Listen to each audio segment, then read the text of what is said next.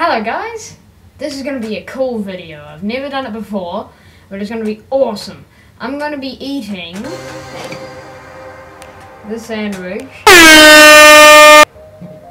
and drinking this water in reverse. So yeah, let's go.